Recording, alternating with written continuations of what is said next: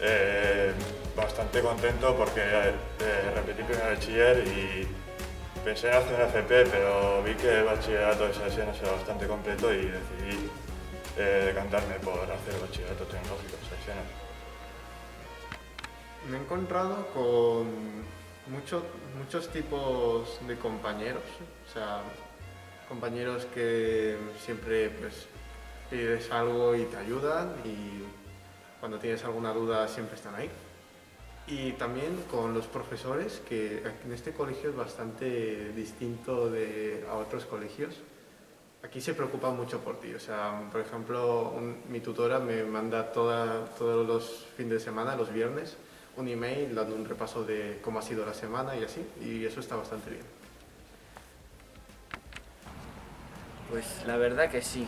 De hecho, pues el bachiller es una etapa ¿no? difícil en el proceso de educación, ¿no? Y pues yo ya tengo ganas de profesionalizarme pues en un grado superior o lo que sea y yo creo que sí, de bachiller se sale bastante preparado.